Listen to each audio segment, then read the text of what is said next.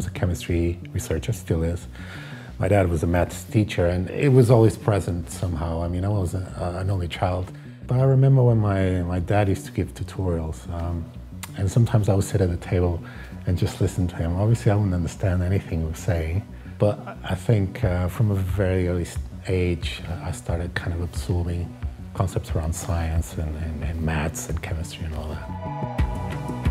I was good at math, so I, I, had no problem with, with understanding abstract concepts. I, I remember reading a, a, book about Einstein very early on, and, and Carl Sagan as well all the Cosmos books and all that. So I, I really got concepts about the universe and, and, and the stars and all that. It, it, was just, it was something that appealed to my imagination, thinking about other possibilities. So physics kind of happened like that, and, and, and that's why I decided to then study it.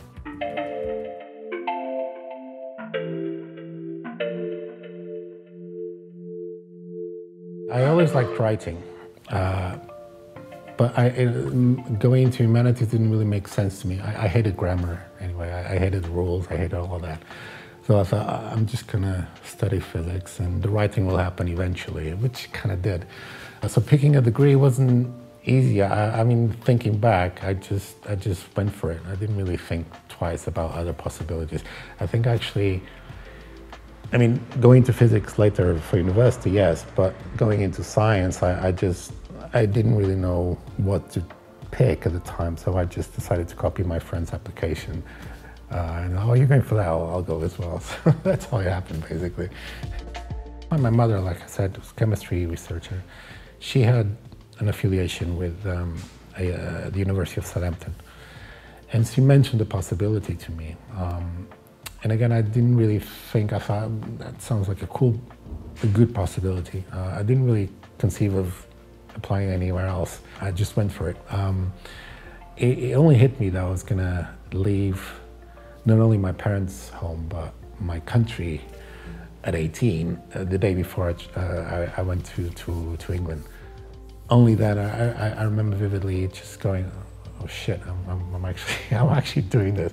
I mean, it's no big deal, but it, it's, it's, it's quite a step change, you know, because if, if you live with your parents until you're 18 and suddenly you leave your country, you leave your friends, you leave your culture, uh, it can be, and you leave your language, it can be quite a drastic change, which it was. Uh, so, but I could, I never really thought about that too much. Only, only hit me when I actually had to face reality.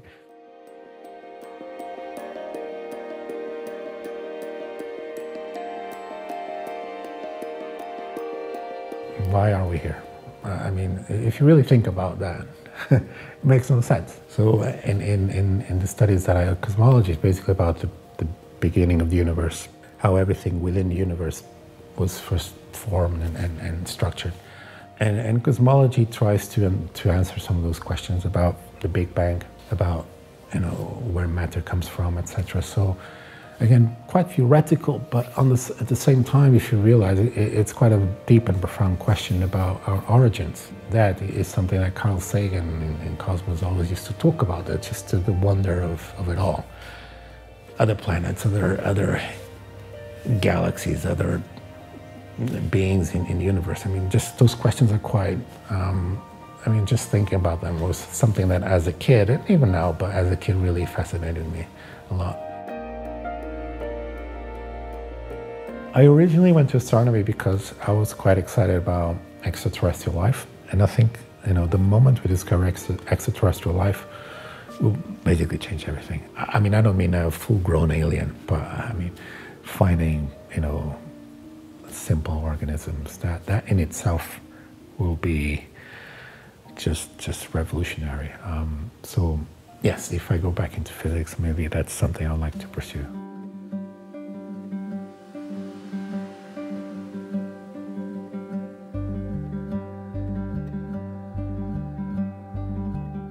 So my supervisor was João Magueijo, who was also a quite famous Portuguese theoretical physicist. And uh, at the time, he, he, he, just published his theories about the variable speed of light cosmology. Um, and he'd done a few um, documentaries for BBC. So what I did, I contacted him. And, and he replied. So, uh, and I remember at the time he said it was, it's quite hard you know, uh, being in Imperial College. And, and then I, I met him at the open day. Uh, Imperial College had an open day for, for people, prospective students.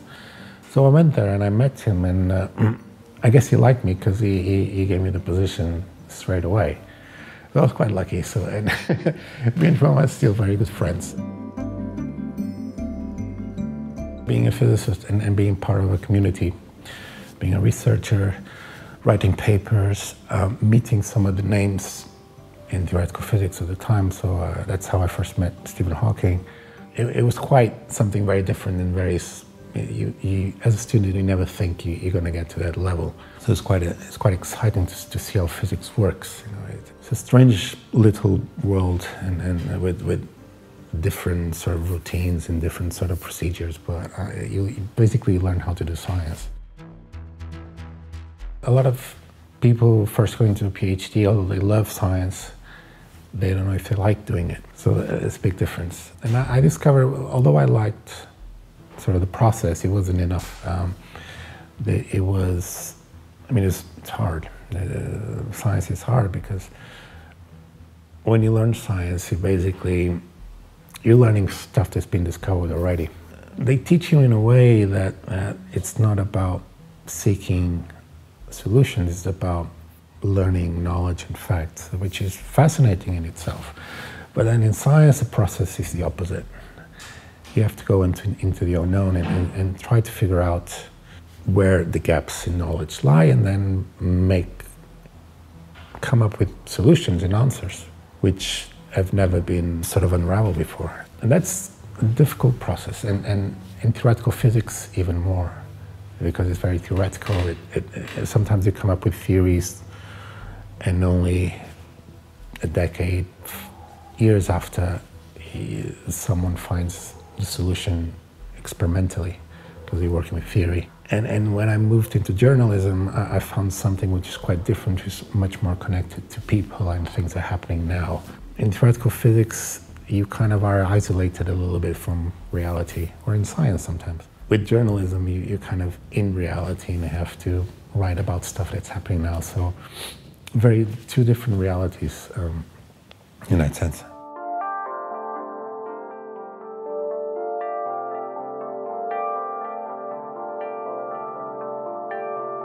You have to separate two things. You know, doubts that you have that fluctuate.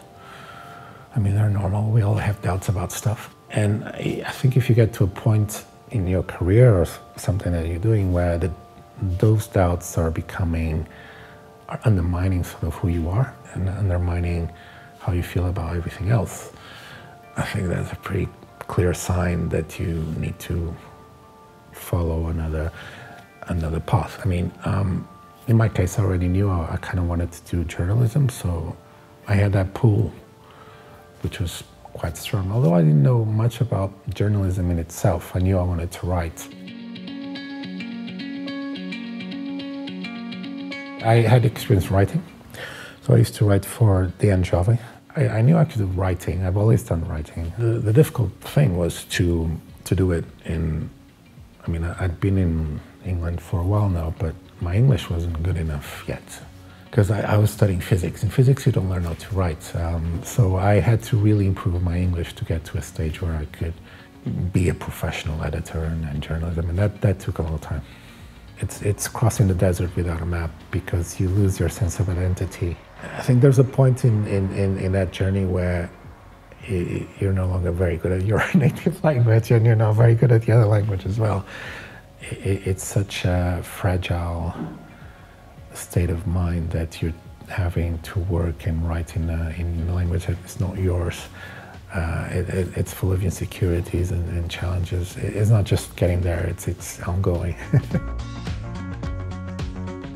I tried to return to Portugal um, and see if there was any opportunities here as a journalist, but um, because I didn't have a degree here in Portugal, people don't really look at your CV if that's the case. That's not the case in, in the UK. So what I did, I, I started writing for the student newspapers, uh, the student newspaper in Imperial College.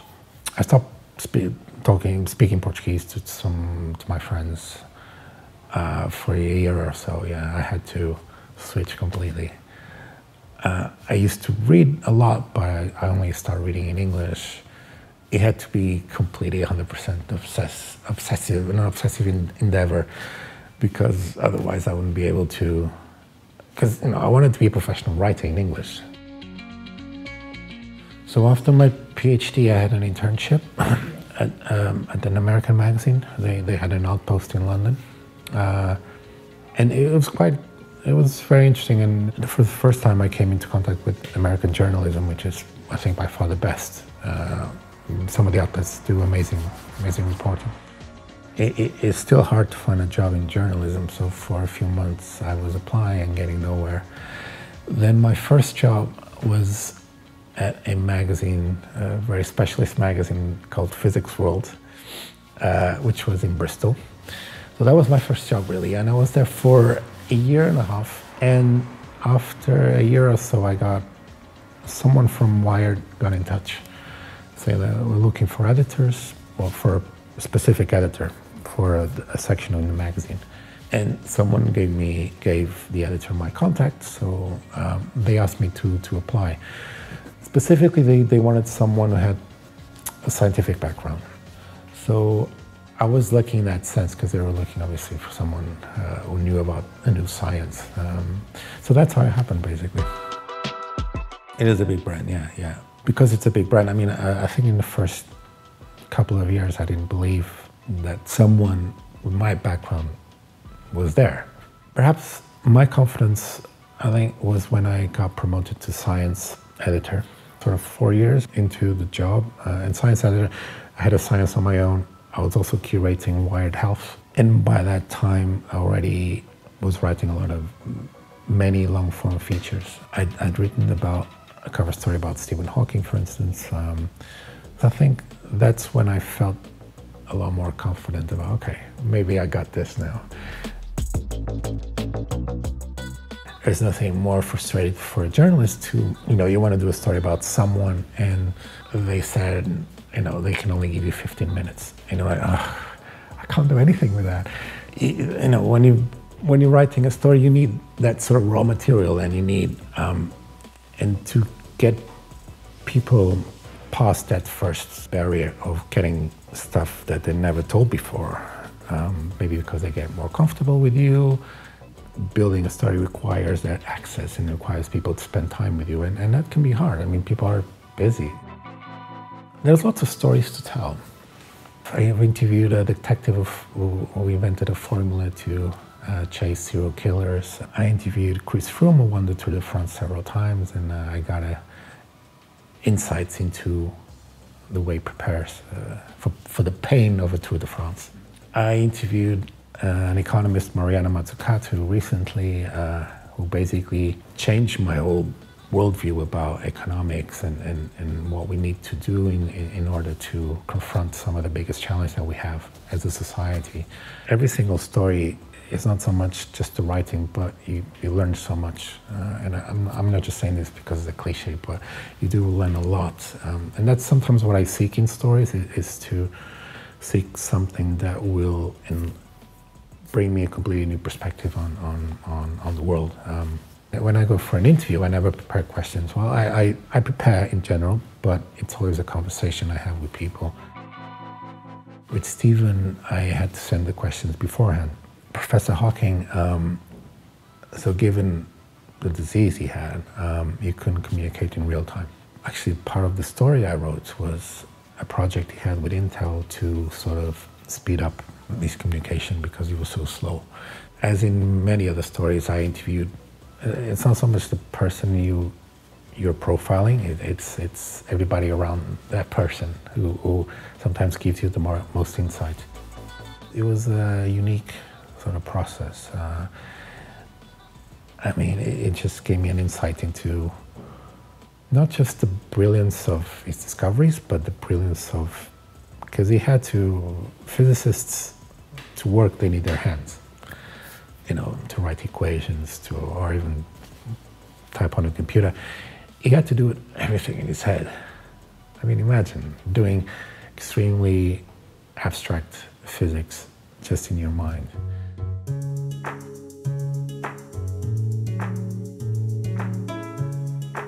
Michael is um, pioneering neuroscientist, and he discovered that. So we all know that brain, the brain is is a plastic. It's called neuroplastic. So the brain has the ability to change. And Michael was the first neuroscientist to actually uh, find that that applies to adult brains as well. Because before people were saying only children have a plastic brain, but when you get to, to an adult, it doesn't really change. But Michael said actually even the adult brain is capable of change. And, and also applies to, you know, when you have all cognitive diseases, uh, uh, the ability for us to, to, to heal ourselves, uh, if you do, you know, what's necessary to actually bring about that change is quite astonishing. So Mike Merzenich and, and others were developing software at the time. A software trains basically the brain uh, to exercise certain abilities that we have. And, and that was something that, that really changed my whole perception about our capabilities and, and how much we, because people sometimes think, oh, I'm not very good at this, I'm not very good at that. But Michael was actually, no, we have this whole learning ability. Uh, as long as we follow certain, certain rules, that we can, we can fundamentally change ourselves. If you're changing your brain, you're changing yourself. So that, that was one. And the other was this time a neurophysiologist called John Coates. He used to be a Wall Street trader, but then he, then he gave up Wall Street. This was during the boom and the crash, and um, he went on to study stress, uh, the stress response. Uh, and he went on to study the stress response because he saw that the traders would get into a frantic state of euphoria. And he, he didn't know why, and, and he saw that the male traders would behave quite differently from, uh, from women, women on the, on, the, on the trading floor.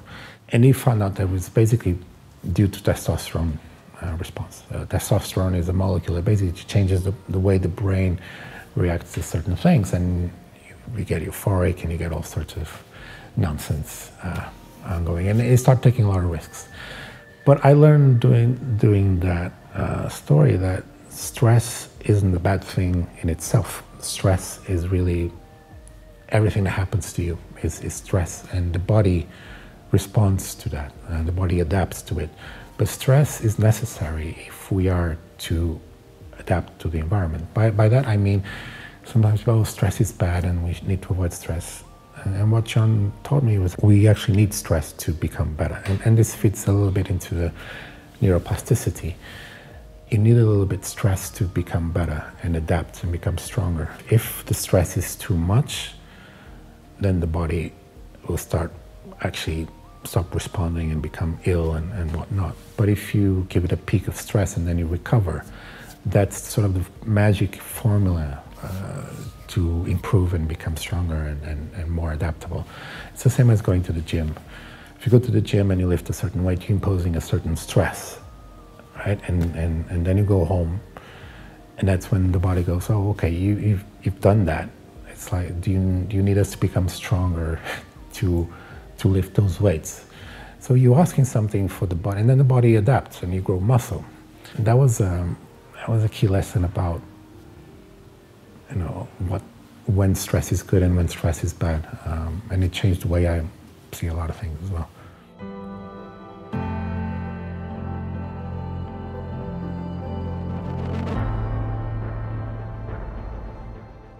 After the London Olympics in 2012, I started researching and writing about sports science. Um, obviously, because we had the, Olympics, so it was it was we had the occasion um, in UK to and uh, people were open to talk to you about sort of the process of of winning medals. But there was other stories I I, I did after that that kind of kept touching on some of the same points, and and I did a story about McLaren Applied Technologies, which is part of the McLaren group, but they they work with companies to develop sort of processes influenced by Formula One.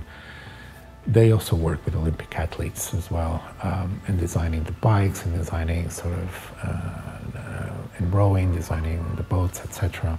He also was working with some of the athletes uh, in terms of tracking hormonal states and seeing if people were ready to compete or not basically they would profile the very best in the world. You know, the best team, the best runner, the best athlete in a certain sport.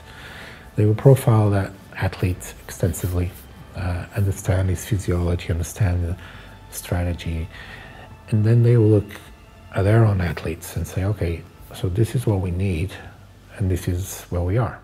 So then the process was about understanding the gap between the best in the world and where they were. And what they did as sports scientists was trying to really, they call it gap analysis, really trying to understand where the differences lie in terms of the physiology, the psychology, the mindset, the injuries, the, um, all those processes. And they'll go very detailed into nutrition to try to understand okay, if we do a little bit here and a little bit there, we're going to get up a level. And then they'll, on the basis of that analysis, they will make training programs for four years.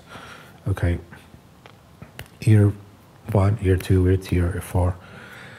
And this is going to be the journey, and this is the sort of the milestones, and this is what we're going to get. So they would peak exactly the Olympics um, and, and deliver on, on that performance. Not always, but the process was so meticulous and so sort of rigorous and so scientific that it, it uh, and, and the results are, are, are, there for everyone to be seen, uh, for everyone to see. In Rio, they were second, just just below uh, the United States, uh, which was an incredible achievement. So leaders need to be aware that the decisions that they make not only are dependent on other factors, that it's not their rationality, um, but also affect others as well. So, for instance, when leaders are very stressed, stressed in a bad way, under pressure, what they tend to do is they tend to put everybody else under pressure just because they want to sort of contaminate, uh, in, in, well, or just spread the stress. So leaders need to be aware of their own inner, inner emotional and hormonal responses um, so they can take a step back and, then sort of realize, okay, I'm not my best today. Uh, I'm going to need to, you know, recover or do what athletes do, basically. In the book, I write about recovery. The team won a gold medal in Rio, the field hockey team, they had this thing called social recovery. And it's basically, you know, scientists found out that when you're in a social environment where you feel protected, your, your testosterone levels go up, your stress goes down. It, it doesn't mean that it, it, it's such an essential part of recovery to sort of kick back and, and just enjoy being with your friends. And, uh, you know, you're so immersed in your work and you're so busy and you keep pushing back on your commitments with your friends or your social commitments because oh I can do them later. That's such a big mistake because you, you you're missing out on a an opportunity to re-energize yourself, but also um, you need to sort of nurture that part of your life. and again, it's something that athletes know, and, and they, then they do it because they, they know their performance depends on that. But you know, people in the corporate world, leaders, sometimes they're not so much aware of it.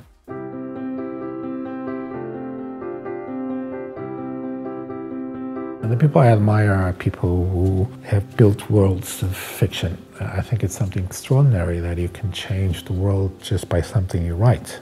You know, I, I, I fully admire scientists who discover something um, what changes the world, like penicillin or whatever or computer scientists to write the program that everybody uses. All of those endeavors have a lot of technology and science and etc.